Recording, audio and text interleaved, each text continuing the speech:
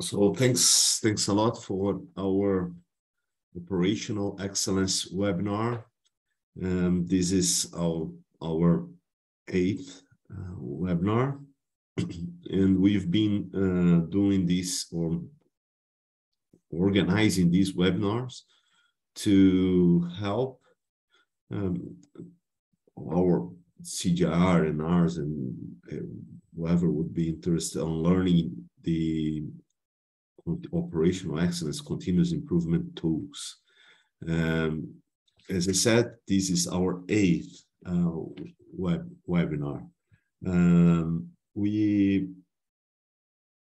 part of this um, this strategy on, on why we need to have these webinars it's becoming even more uh, relevant today with this what we we will um, implement under the one CGIAR.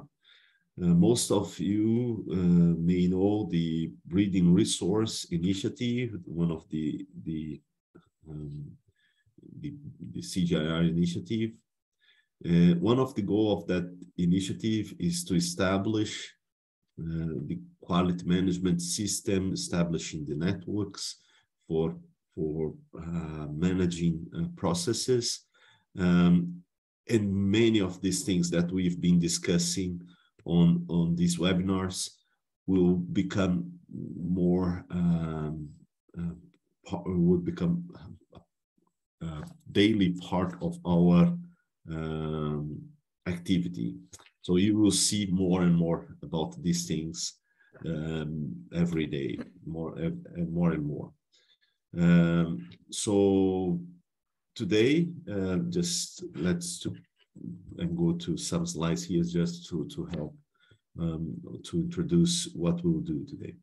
Um, first, we, as I said, we've been presenting many tools. We learned five S, eight ways, five whys, why we need to have continuous improvement team, root cause analysis, interrelationship diagram, value stream map. So we learned many in, in learning, not only the tools, but also examples of these tools being applied in, in our um, in a breeding organization. Uh, from our last webinar, we just a remind we learned uh, so key behaviors in the continuous improvement culture. We learned uh, Kehinde from IITA presented the introduction on processing map uh, and also we counted with uh, some uh, special uh, guests to to they presented the adoption of lean uh, in some uh, farms in Nigeria.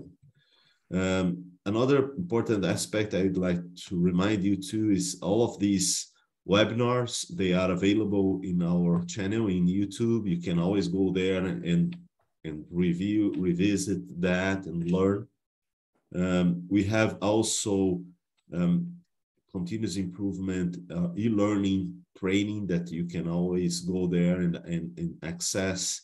And it's a self-paced training you can go and learn too. Um, and of course, also some materials available in the IB toolbox.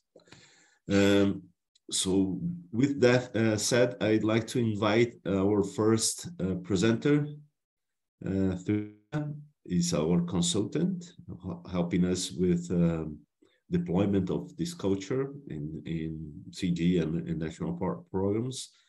Um, Theresa, may I ask you to share your screen if you were ready? Hello, this is Theresa. Thanks for joining us today.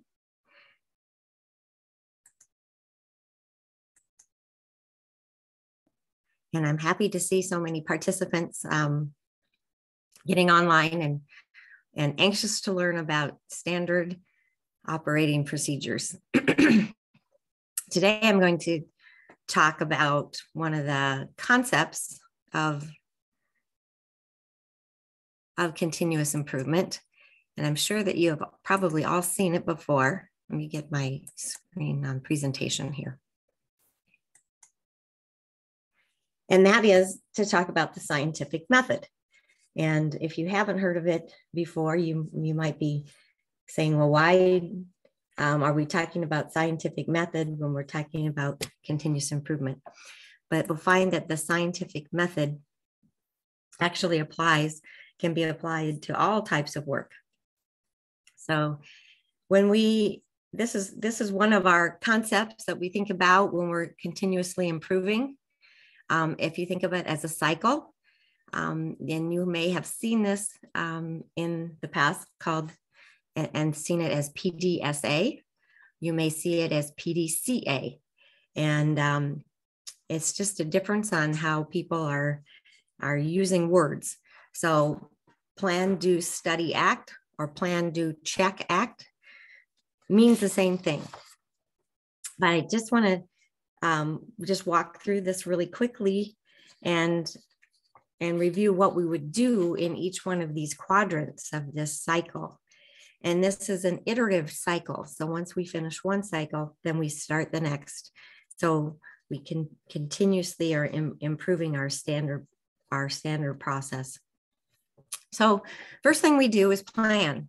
And this step actually probably takes the longest of, of any of the steps, um, probably at least half of the total time, it seems like. But we want to understand what our, our current status is.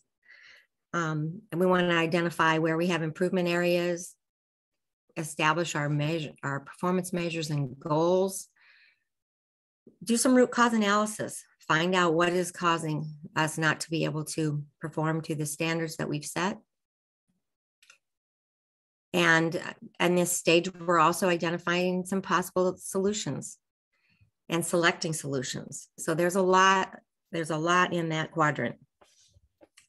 Next, we're going to do, and that's just exactly what it says, right? We're going to take that solution that we've um, want that we want to try out.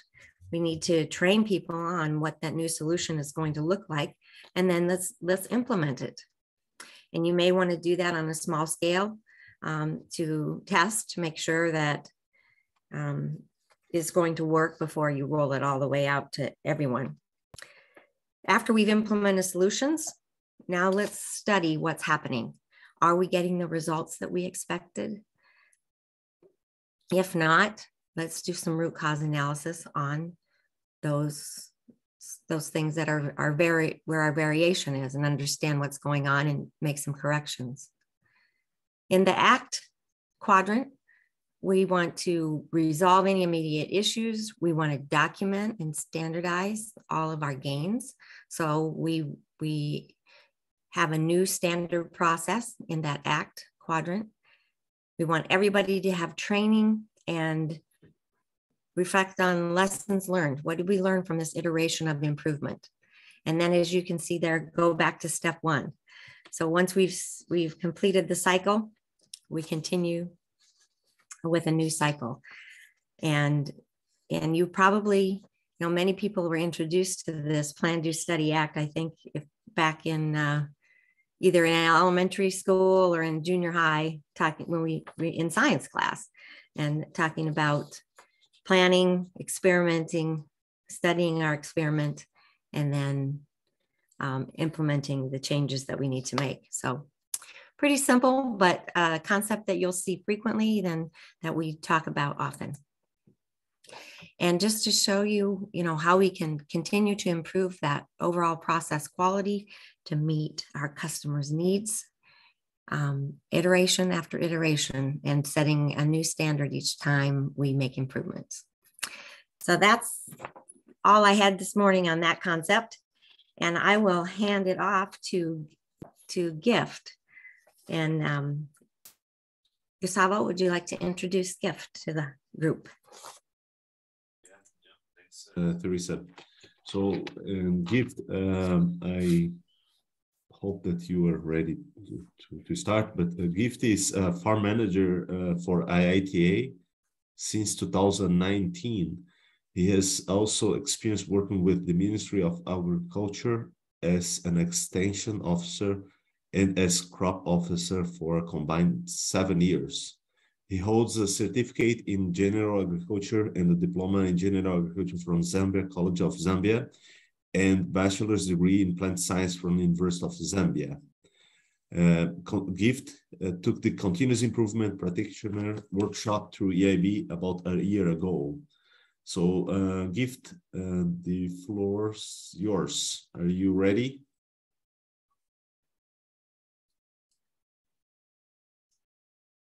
We can see your screen. But you are on mute, I believe. We can't hear you. Yeah, that's me with the screen, Gustavo. Uh, Gift, are you here? Uh, make sure your microphone is unmuted. All right. Good afternoon and uh, welcome to my presentation. I'll be presenting on um, standard uh, work resources.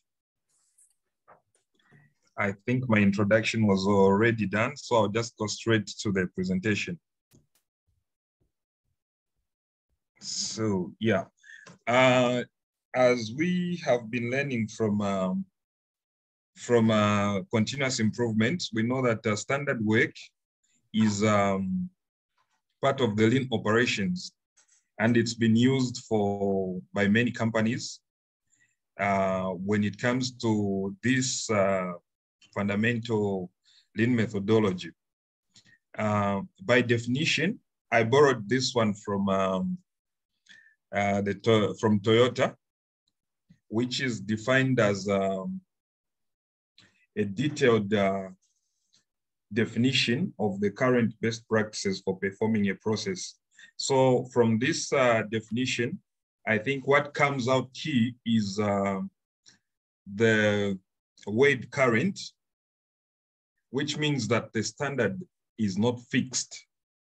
It should always be improved upon in, in this sense, standards are only part of the methodology and uh, they'll serve as a baseline, which must be able to change in order to drive improvement. And uh, without standards, there can be no improvement. This was uh, said by Taiichi Ohno from the Toyota production system. I can go to the next slide. Yeah, this was just my diagrammatic representation of standard work, where we have the current process, and at the end we have standard work. In between, we have uh, immediately after the current process, we are observing and recording all the current steps in the process. And then we map the design, which we are going to follow, and then uh, identify the waste along the way or along the chain, then we also establish how the material is going to flow and how it's going to be used. Then uh, once we were um, observing and recording, we implement the improved process changes and document the improved methods that will give us the standard work which we are looking for. So perhaps we can go to the next slide where I can explain in detail. Yeah, so the benefits of standard work is uh, it will actually help us to establish the best practices because we are trying to come up with a standard which is not fixed. It can be improved upon, but we are going to be using the best practices and also reduce in defects, which are imperfections. Before we actually produce the product, we'll be able to see the defects early and correct them then we'll also be able to streamline problem solving, which means that uh, we'll make more efficient uh, and effective uh, ways by employing a faster and simpler method of solving the problem. And then also there's a reduction in variability, which means um, if we reduce variability, we are going to be consistent with what we are producing and the process we are following in order to come up with a product. So when you're doing the benefits of standard work is actually that it will reduce uh, in, uh, inconsistencies. Then there's also reduction in waste because we have the standard and uh, at any point where we divert from the standard, we are going to see that we are going in the wrong way. So we avoid waste by sticking to the standard. Also, standard work will serve as a, a basis for continuous improvement. Yep. Then uh, here, these are some of the standard operations in uh, standard work. First of all, we determine the takt time, which is simply the product assembly duration that is needed to match the demand, the rate at which you are going to produce your product to meet the demand. And then uh, from when you, once you determine the takt time, you will determine your cycle time, which is simply the average time it's going to take to finish one unit of uh, a product. Then you determine the sequence, uh, simply the order in which you are going to carry out or complete your tasks. Then from uh, determining your work sequence, you determine the standard quantity, uh, the amount of materials that uh, should be required to complete a unit of a product, the normal waste, spoilage, all those, you determine them. And then uh, you prepare a standard um, workflow, uh, which is simply how uh, a piece of work will pass through the different uh, phases from uh, initiation to completion. And then I prepare a standard operation sheet, which will be a document that uh, outlines how you carry out your operations. Then you continuously improve your, your standard so that uh, we come up with uh, the best way to carry out an operation we continue to improve on the standard operations. We can go, that is one of the standard operations, yeah. Then uh, standard work drives uh, continuous um, improvement. So by this, what we mean is that uh, this actually is a part of uh, Kaizen, which I think is uh, an ancient philosophy that was adopted by Japanese manufacturers to develop a culture of driving continuous uh, improvement. Uh, literally, Kaizen, when translated, uh, it means a small change. It states that uh, problems can be solved by making incremental improvements, that is over a period of time. Small, small changes when put together will help us uh, solve bigger problems. Of course, it takes time. And then a standard work serves as a framework to facilitate and record these small changes in a formal way. The benefit here is that uh, it allows for the distribution of knowledge and uh, the progress that you are making across the workforce, whereby it helps uh, everyone to have a mindset of uh, continuous improvement. When you have a workforce that has uh, a mindset that always wants them to improve, it also helps uh, for standards or the protocols to improve because the workforce is always um, thinking of uh, what small step could they take to improve the process or the product.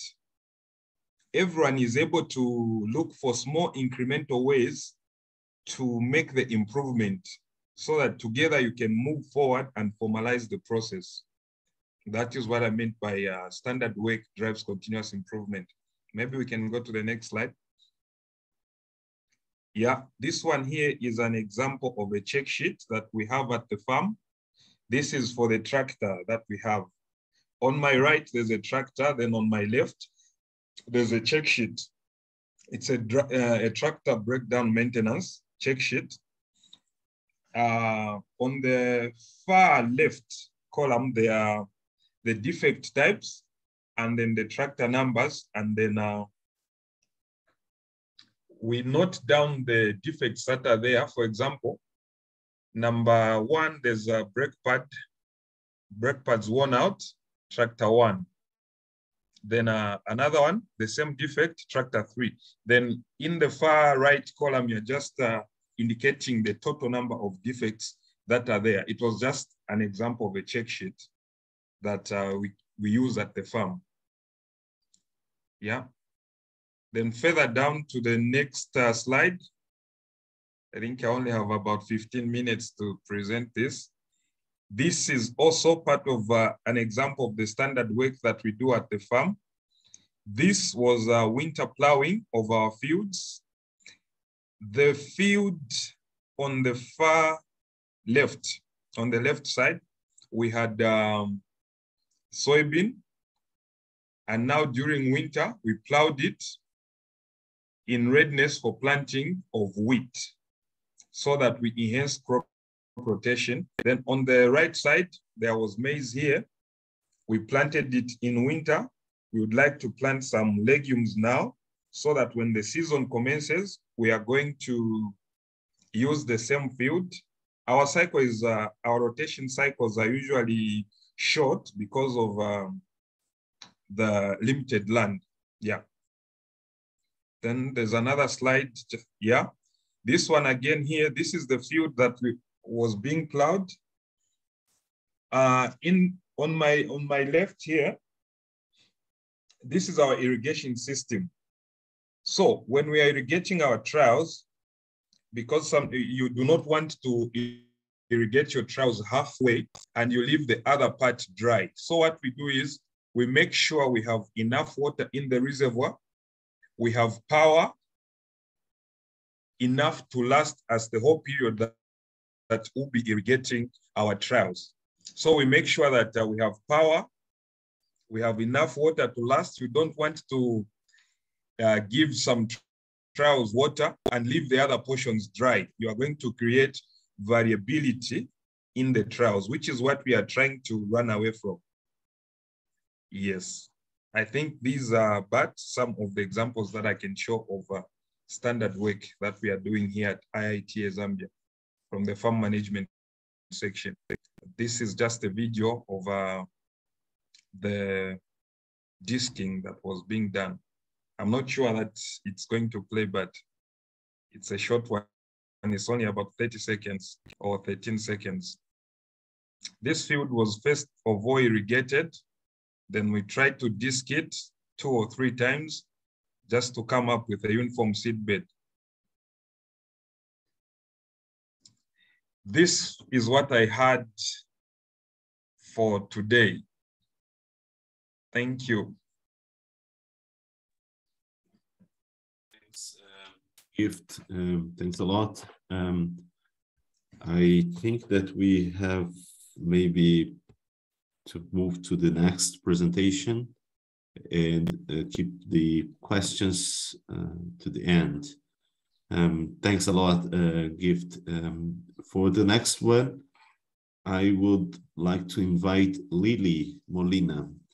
Um, one of the the centers that has done really good job on on managing the the protocols work is definitely IRRI.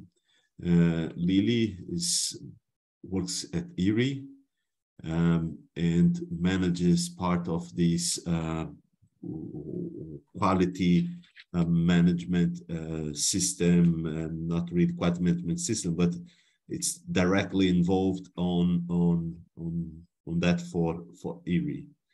Um, so Lily, may I ask you to to jump in and uh, if you can uh, you please introduce yourself and um, and go to your slides, please. okay, so thank you, Gustavo. Good evening, everyone. Good evening from the Philippines. So I am Lily Molina, and I am the leader of the IRRI Service Laboratories. And I was tasked to also lead the QMS project of our platform integrative research support platform under the leadership of Sharifa.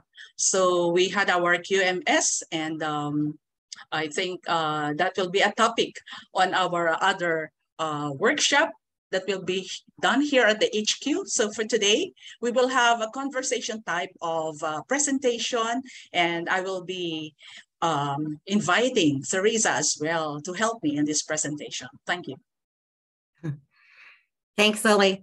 Yes, uh, today we're going to have uh, a kind of a conversational um, interview of Lily to uh, hear about all the uh, all of the things she knows about uh, SOPs and writing them. So, um, we Lily, we we asked you to talk about SOPs today because you have lots of experience writing and managing SOPs there for IRRI, as you just mentioned. And um, it sounds like you're also helping some other platforms with their um, writing SOPs and establishing a quality management system. So we'd like to ask you some questions about all of this whole process and, and see um, what we can learn today. So first, um, can you just simply tell us what an SOP actually is? Some of us may thank not you, be familiar with it. Okay, thank you, Theresa. When we say SOP, it stands for Standard Operating Procedure. And it is a set of written instructions that document a routine or repetitive activity followed by an organization. This definition came from US EPA 2007. And uh, what we have when we talk about SOP, it must follow a certain pattern or a certain template. And it has to be uniformly written throughout the organization that follows this standard operating procedure. So that's the brief uh, definition of an SOP. Thank you, Lily. So um, I'm wondering if you, can you briefly explain why it is important to have your SOPs and to have that process documented? And what are, what are some of the benefits of actually um, having an SOP? Okay, so maybe we can refer to my next slide, which is slide three. And in here, we could, uh, uh, without an SOP, for example, the one that you can see is just an instruction on your left side. And without a standard operating procedure, and you are the one assigned to do those tasks, would probably lead to a lot of inconsistencies when it comes to quality. And so there is more chance of human error and there will be an increased cost for staff training if we have only this kind of protocol to follow. So it would also entail wasted time and money and probably they will uh, commit some errors in doing the, uh, the task assigned to them and it will lead to a low employee morale. Whereas in the next slide, if we have an SOP, then quality service is guaranteed we can have an improved process understanding among the staff that will be doing the task that will be assigned to them. And this will also serve as our training tool for our new employees. So definitely the benefit would be time and cost saving because our staff will be doing the right things with clear and concise set of instructions for all of their internal processes. And definitely, this will lead to customer satisfaction and improved team morale. So for us, service laboratory or a service unit, having SOP will ensure the consistency, quality, and integrity of the service or laboratory data that we produced. Okay, great.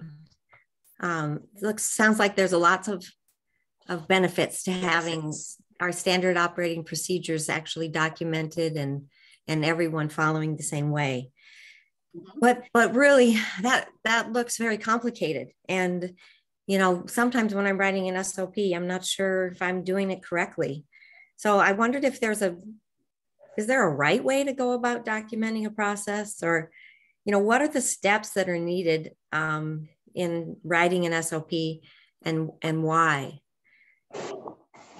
Okay, so there are many ways to writing an SOP, and but there is no one standard way of writing an SOP.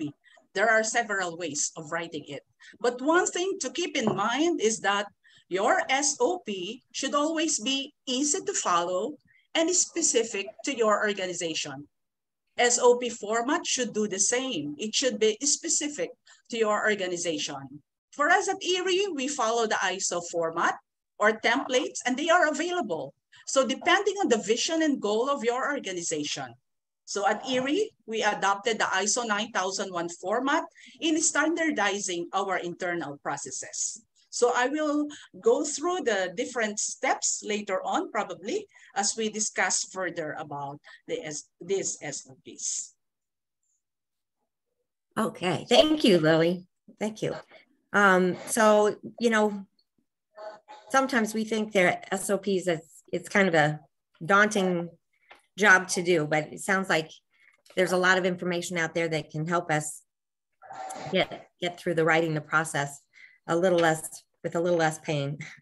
Um, and this is another thing that I've come across in the years when, when we've been implementing um, quality and quality management systems and continuous improvement is a question about do we need SOPs for all jobs? And are there some jobs that actually wouldn't need them?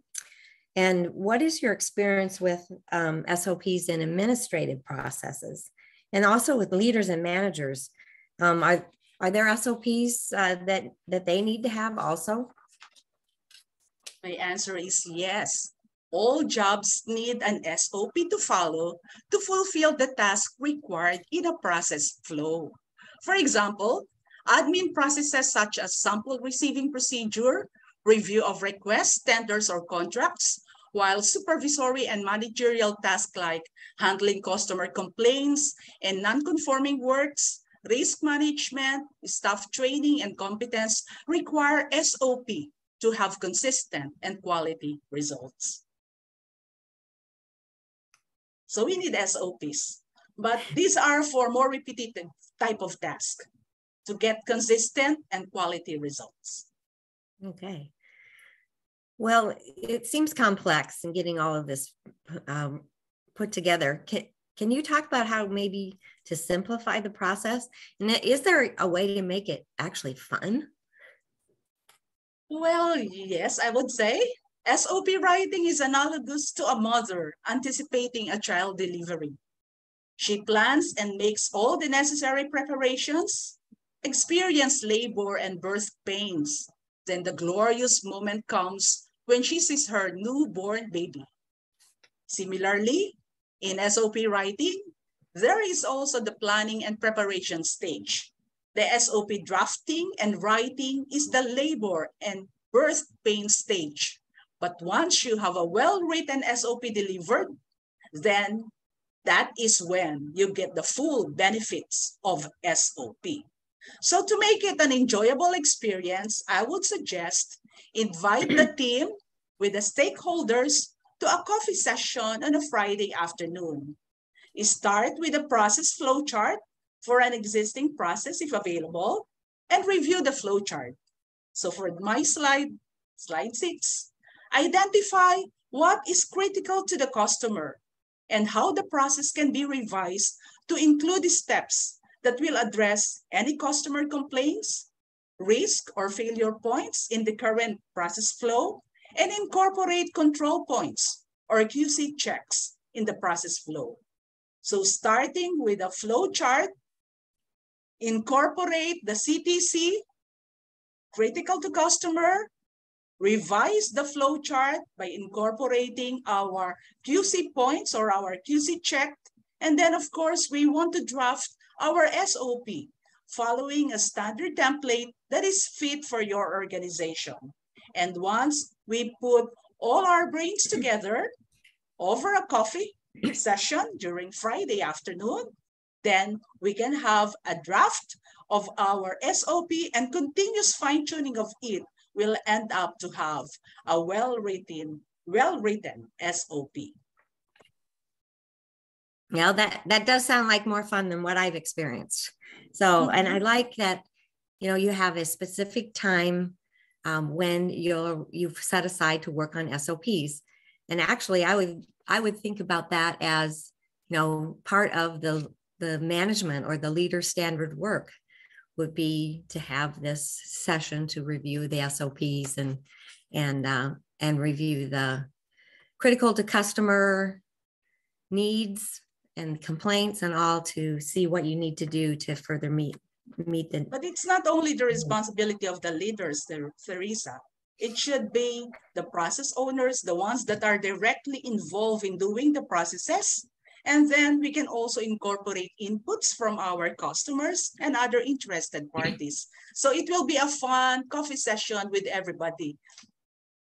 Yeah, that sounds great. That sounds great. Um, you mentioned about um, SOP templates. Are there essential parts or sections of an SOP and why are they important? Slide. So, okay. So in my slide seven, it shows the six main sections of an admin SOP, while slide eight, the next slide, has 14 main sections, and this is intended for technical SOP. Back to slide seven, please. So of course we have the header.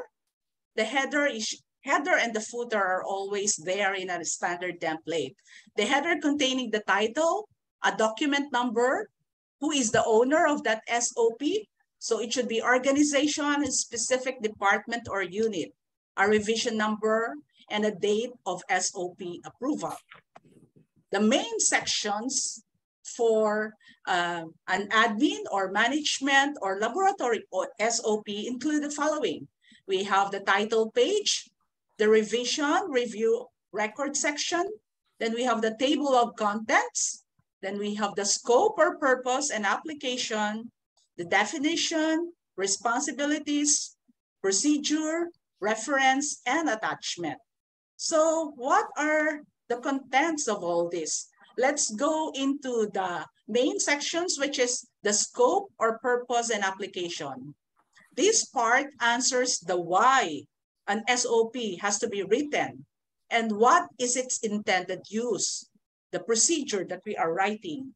And in the scope, this entails the area covered as well as the exclusions.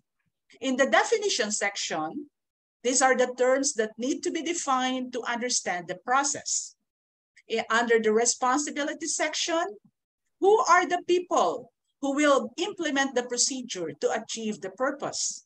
and the bulk of it goes into the procedure wherein it lists the step-by-step -step details of what needs to be done.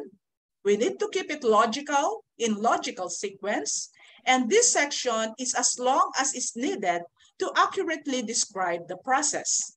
We can also, if it's a very lengthy procedure, we can refer to some work instructions in the procedure section or some forms or some policies that are relevant to the procedure that are the to the procedure or step-by-step -step details that you want to include in here. Next one is the reference section. It lists the reference documents that relate to this procedure. And then we have the attachment or appendix or addendum that includes related documents to that procedure.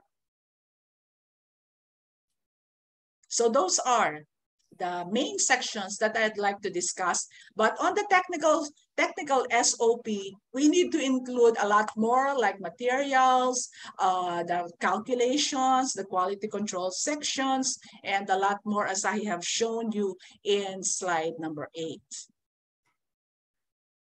Okay, that's great. And that, that helps helps me a lot, especially with some of the SOPs that we need to write that that may not be technical at kind of only seeing a, a few steps there um, just kind of helps me wrap my mind around it that it was not such a daunting task.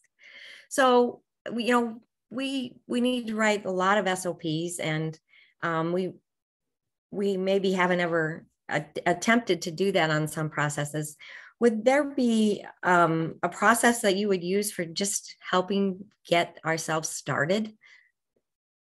Okay, so we're now coming into our slide number nine.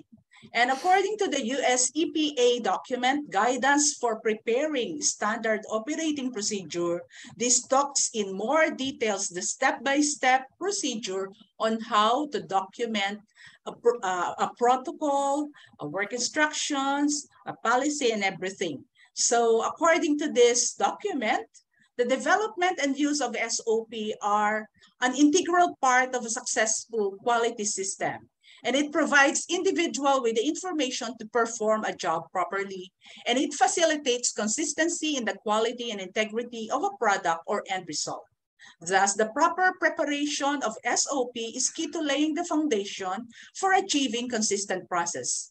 By following a few general steps, we can prepare SOP for use within your organization.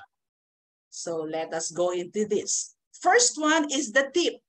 So before preparing your own SOP, here's the tip.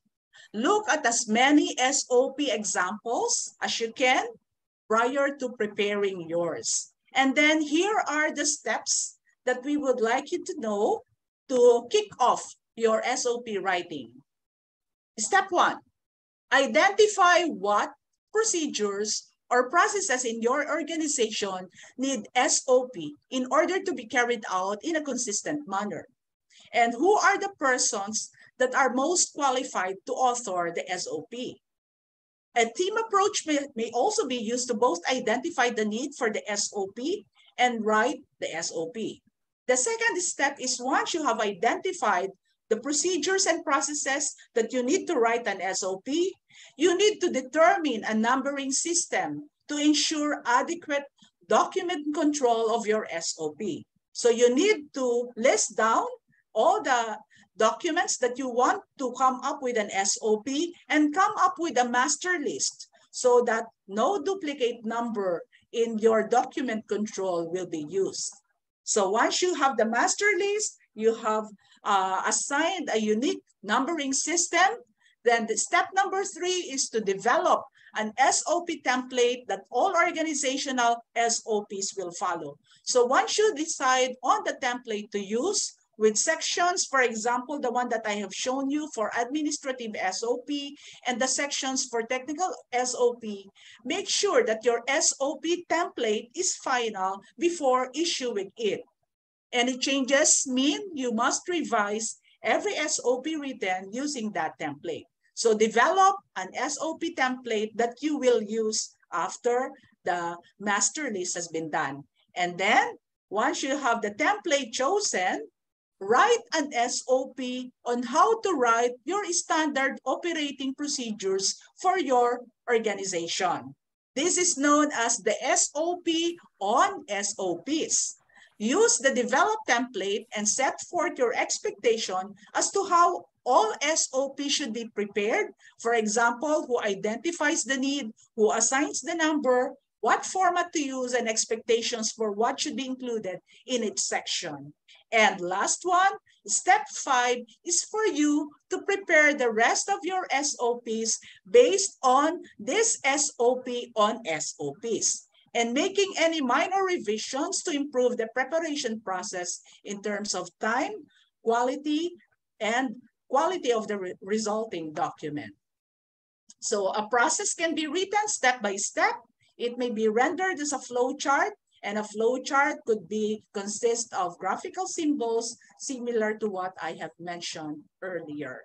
So you can start with your flow chart and then fill the template that you have chosen, write every section that is required in that one, and then you'll have your draft SOP written and fine-tuning it will allow you to follow the SOP and SOPs that you have established and then the succeeding other SOPs can be done in accordance to that SOP.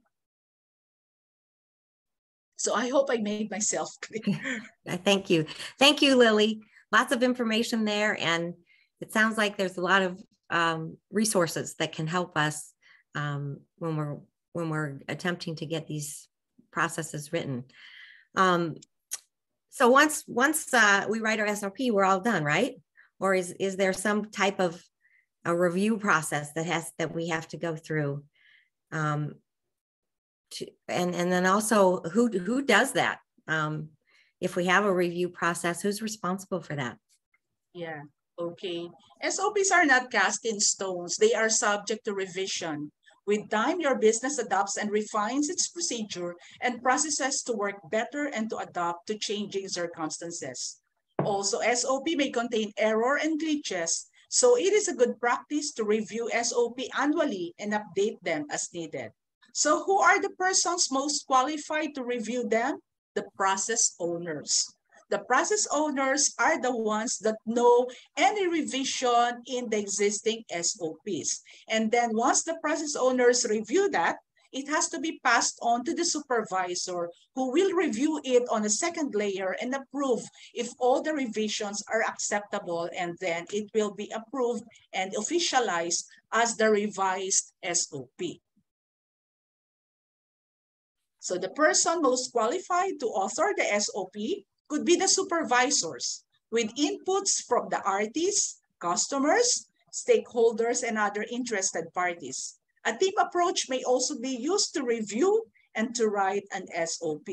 So they need to do it all together and uh, with all of their insights put into an SOP, they can keep them simple and meaningful and what they are so important when it comes to meeting the needs of customers and having the base for continuous improvement.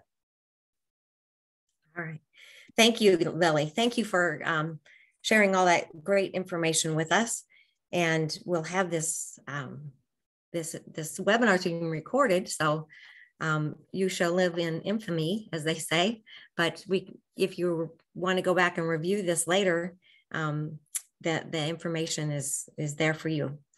So we have a few minutes left for questions, for questions of either myself, Gift, or or Lily, or or Gustavo. So any questions that you might have, we'd be happy to, to uh, try to answer. Lisa, we have a question in the chat from Amir. Um, I think you partially answer answered that question, Lily, but maybe we can uh, elaborate a bit more. And how often do you review and, and update the SOPs? Is there an audit or internal review that is done to make sure all procedures are up to date and followed? Uh, okay, so what we have done so far at IRRI is that before officializing an SOP, the process owner writes the draft and then it undergoes a team review. So the supervisor is there plus other interested parties and even the the customers could be there.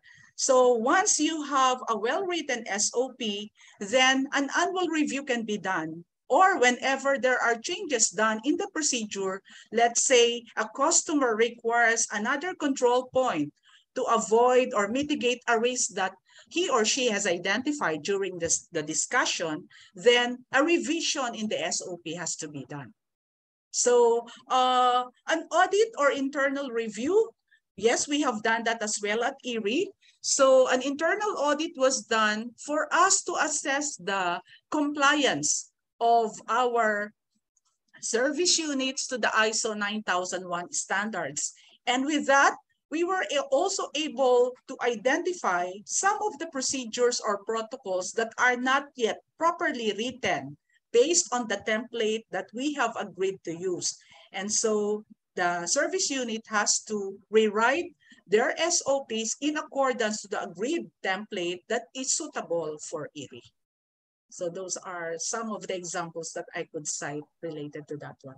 Given that you are affiliated to a particular ISO, do you then get external auditors to come and audit your quality management system Yes, for us in the laboratory, because we are accredited to an ISO IEC 17025, it is the accreditation body that monitors our compliance. And so they come whenever we are scheduled to have our assessment. And so they visit us or during the pandemic, they do the uh, remote assessment for us. So these are external auditors, but we have also an internal audit in place within our team. So we do our regular internal audit according to the schedule that we have agreed upon within our team. Is there any other question which I missed?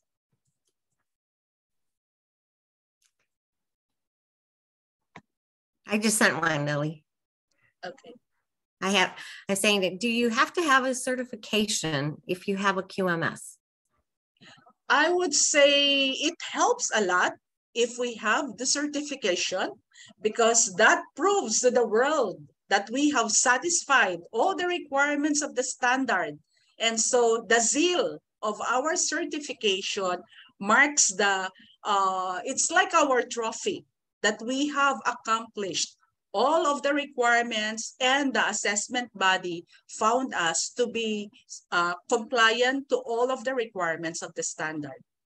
However, for IRRI, we don't have certification, but we are aiming for uh, compliance to the ISO's, ISO 9001. But I mm -hmm. think in order for us to fine tune the so-called compliance, we need to have a metrics how much compliance are we talking about so that we can assess if we are reaching our target of compliance. So I was suggesting that probably we have to define how much compliance, would it be 75%, 85%, and then keep it higher and higher until we are ready for certification. I think the certification will not cost that much because the, the higher cost of certification comes when we involve a consultant.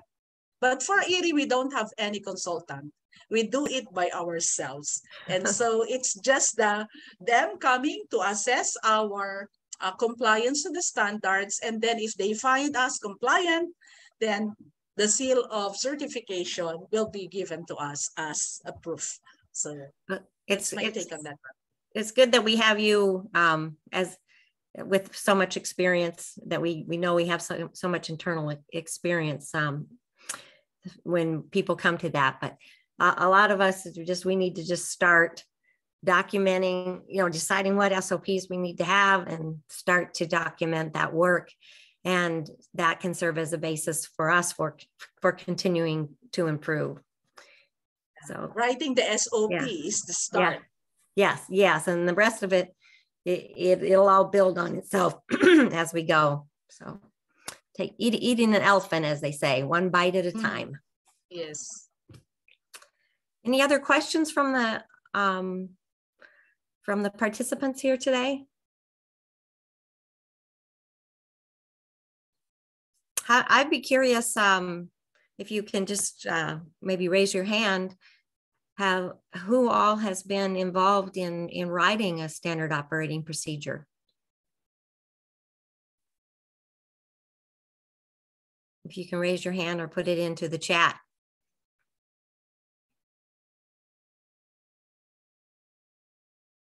Because in the hands of my colleagues at IRRI And also Peter and Amir who else?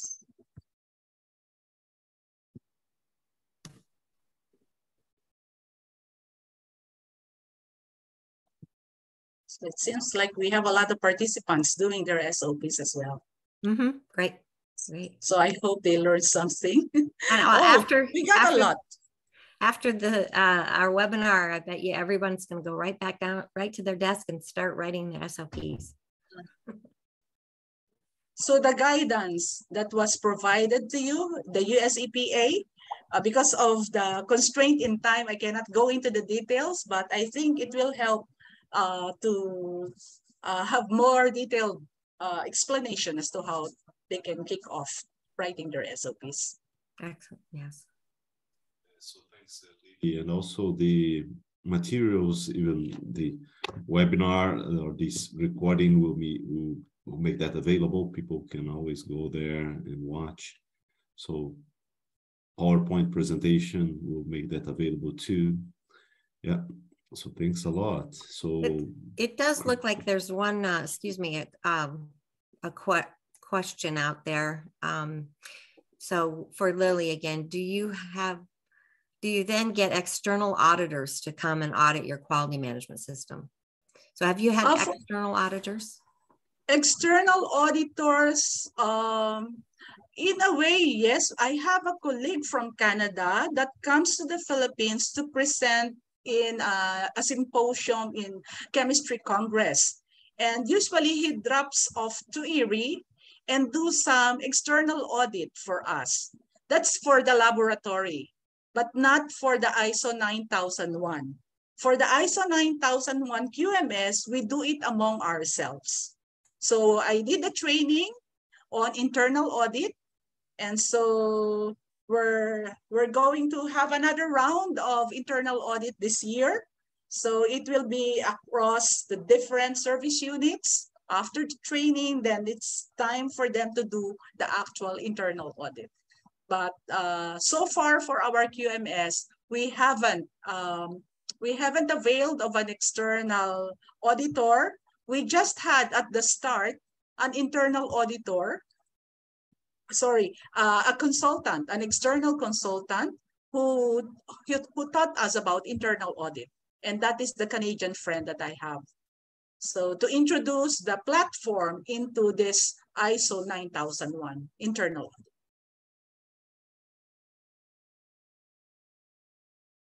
Um, can, sorry, go ahead.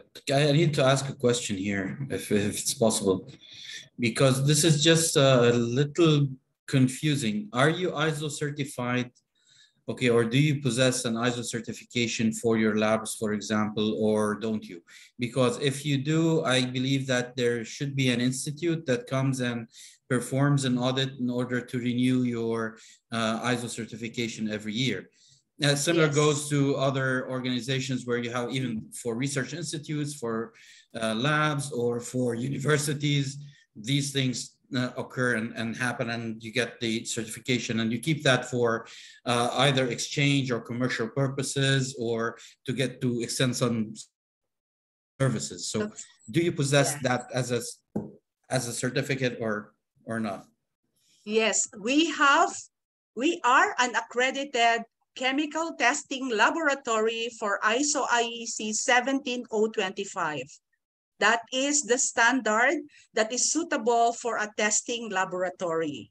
So we are now running into our uh, 15th year. And uh, so far, the accreditation is good for five years. And every two years, the accreditation body comes to our laboratory to conduct a surveillance visit. And in this way, they assess our compliance throughout the requirements in the standard as well as the Philippine Accreditation Bureau also has its supplementary requirements. And so we need to satisfy all those requirements for us to continue our accreditation. Now, I have another project, which is the Quality Management System project for ISO 9001 2015 version for our platform. So that is separate from our laboratory because we are already accredited. And this one is an ongoing process. And that is the one that I am referring to that for the quality management system of our platform, we do not avail of any external auditors. We just do it among ourselves and we have done the first round of internal audit and management review after the three service units were able to satisfy all the requirements of every section in the ISO 9001 standard. So I hope I made myself clear this time. Yes, thanks. Uh, uh, uh, Gustavo, can I just come in a little, uh, one minute?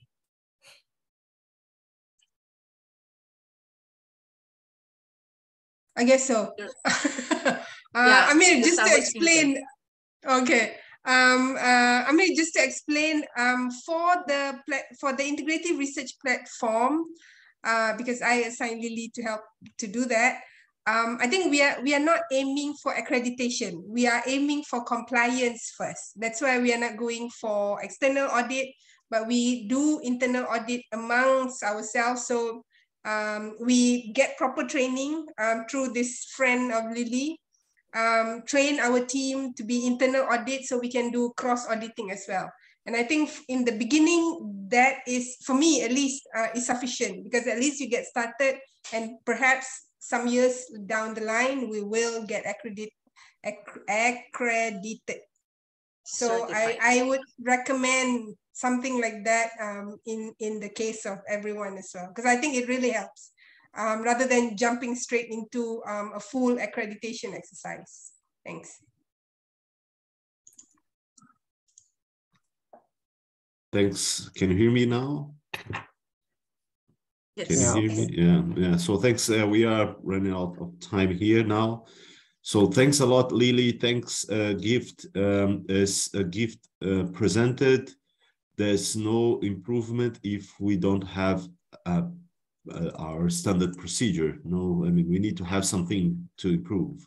So uh, I really believe that starting mapping the process, defining the, the, the, the SOPs is a, a first uh, step for, for most of the the work that we need to do in in in our breeding organization in CGIAR and national programs, national partners. So thanks a lot. Uh, as I said, uh, thanks uh, Theresa too. Uh, this um, recording will be available. So looking forward for the next one that we'll organize soon. thanks, thanks a lot. Have a really good uh, rest of the week. Thank you. Bye.